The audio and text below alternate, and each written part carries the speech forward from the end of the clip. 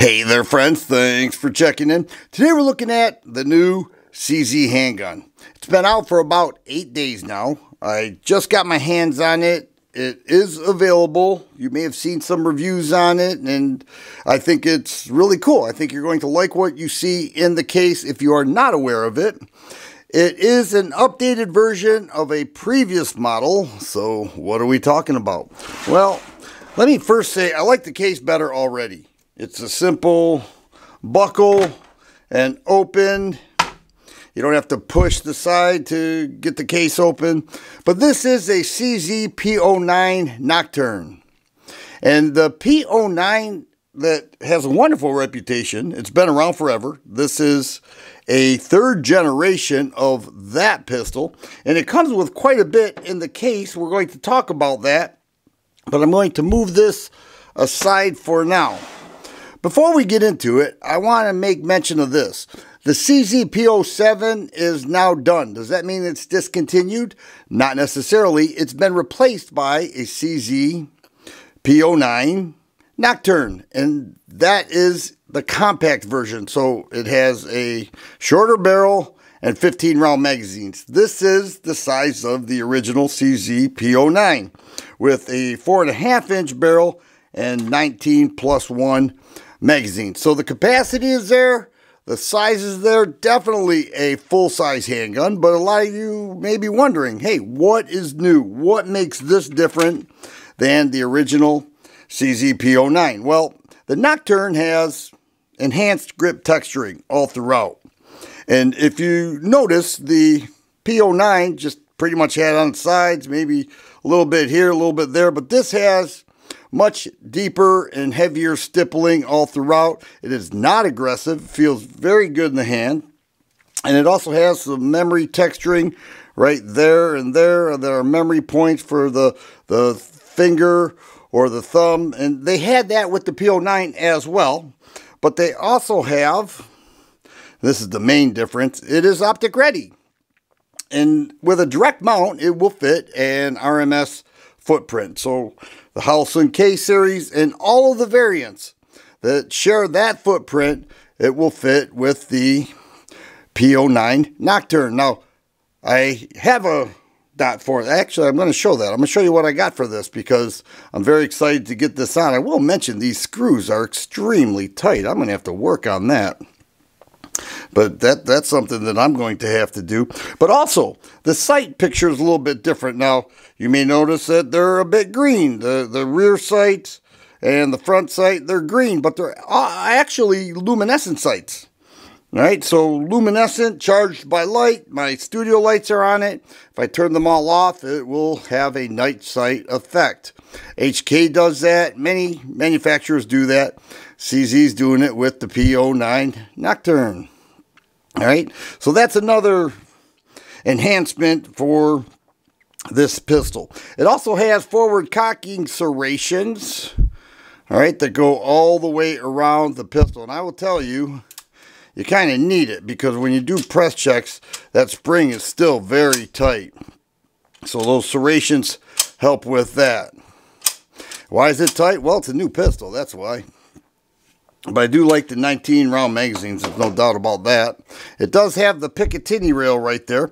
It also has a slide stop that's a bit different. It has more real estate right there to operate the slide stop. So when the slide is locked back, just push that down and it just is, is a cleaner fit. If that's even a way of saying it, but it is. It's easier to use than trying to find that lever and use gravity to pull it down.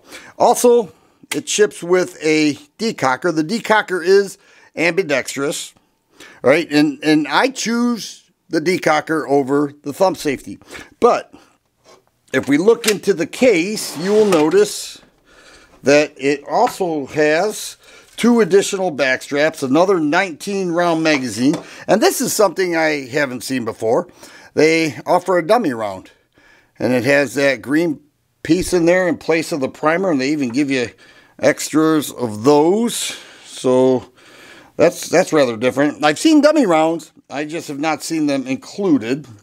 And then here is the thumb safety. If I wanted to, I could switch out the decocker with the thumb safety and go that route. But I've I've done the opposite actually in the past with my P07 duty many years ago. I, I changed the thumb safety for the decocker. Paperwork, bore brush, patch tool, and everything that I mentioned in the case with a very much nicer case. I, I certainly like that better. The handgun itself is full size. Now, if you go with the P09C for compact, and by the way, that says F right there. Can we see that? Perhaps I'll insert a picture. But this is the F for full size. But if you go with the other one, it's going to look similar to this, just shorter. And that was, was once called the P07. Not anymore. It's all the P09. I think CZ's trying to simplify this. I want to do a little size comparison with my discontinued CZ SP01 Phantom because this was discontinued and I think it was discontinued because this, not the Nocturne, but the CZ P09 was a hot product. I think it still is. Now that it's optic ready, they're updating it and making it even better. You can see the curved trigger on there. Slight curve, not anywhere near as much as the SP01 Phantom. But here we have four and a half inch barrels.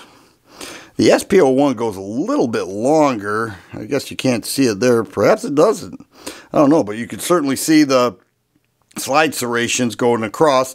And one of the reasons why I believe that CZ doesn't or hasn't done much with optics is because look at very little area to work with here. So this is much wider and the smaller RMSC, RMS footprint will work with that. The MSRP on this is very attractive. You're looking at you are looking at 549 and that is a very nice touch for a new release from CZ. Now let's talk about the trigger before I get it on the scale. You're looking at a four pound single action trigger. Well, it'd help if I dropped the mag. A four pound single action trigger with a reset similar to the CZ SP01 Phantom. Okay, it's a 75 series trigger. It's an Omega trigger, which is superior. A lot of people love that. I love that. Now the double action is heavy, as the original was, so that that really hasn't changed. But the enhancements that I talked about tells me that it did change it a little bit. Let me go ahead and take this down. We'll push this pin out. It is tight. I will tell you, it is tight. I may need to grab my pocket knife here because I got it wedged out a little bit. I'm not going to scratch the frame at all. Glass, well, it's there. There we go. All right, so here we have a single recoil spring, 3 point or 4.5 inch barrel, correction there. And there is the slide.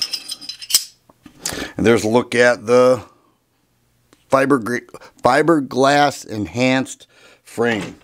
Okay, fiberglass enhanced polymer frame. If I could get that right, we're going to get it on scale here.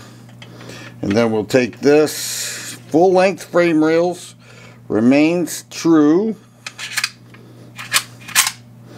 and then we'll bring it back. I, I, like to put the pin in first and then move it back just a little bit and then sink it in there. The unloaded weight with the P09 Nocturne is, let's see what it is, one pound 14 and a quarter ounces. Here are, well, let's move it to just ounces. 30 and a quarter ounces, 19 rounds. We're looking at 38 and a quarter. I don't have another round. I guess I'll throw that dummy round on there. And we're looking at, well, approximately 38 and a half ounces, okay? But just for fun, let's go ahead and throw this SP01 Phantom on there. 37 and a quarter. So about an ounce heavier with the P09 Nocturne. I think a lot of people are going to like it. I think it's priced right. You look online and you try to score one of these already and you'll see that the prices are all over the board. Many are at MSRP, some are a little bit discounted, some are higher, which is common with many of the new release handguns. I like that magazine release. I think that is well positioned. You don't have to change the grip. It sticks out a little bit, so that works. The trigger action is nice. A little bit of a, a little bit of a, right there you think it's going to break, but it goes back just a hair. I don't know if you were able to see that, but I think it's going to break in just fine. Do I think it needs a break-in period? No, I do not think that at all. Do I think that it will smooth out and loosen up just a hair over time? Of course it will. Every gun does over time. They ship from the factory rather tight, but there it is. It's that new CZ that many people are talking about, and I'm going to get this to the range with my optic, and I'll show you if this performs as well as the original CZ P09. If you like videos like this, please subscribe and share. I always appreciate thumbs up button. Thanks for watching, and you guys be safe.